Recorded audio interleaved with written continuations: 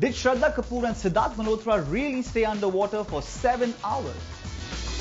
According to recent reports, Shraddha Kapoor, who is a trained diver, and Sidharth Malhotra, who loves scuba diving, shot for 7 hours continuously underwater while shooting the Galiyan song from Ek Villain. But adman Prahlad Kakkar refuses to buy that story.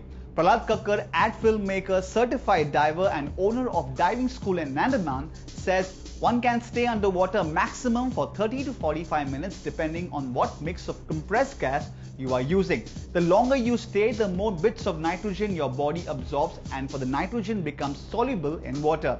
The longer you stay, the more bubbles you develop and if you don't come up and allow the pressure to release, you may develop bubbling diver's bend where everything turns painful from your nervous system to your joints. To say that one can stay under for 7 hours is stupidity. He further added, when you report inaccurate stuff, problem is someone may try it out and could even die. Sumer Verma, a certified diver and deep sea photographer, also refutes the 7 hour claim. We wonder what the makers of Villain have to say about this.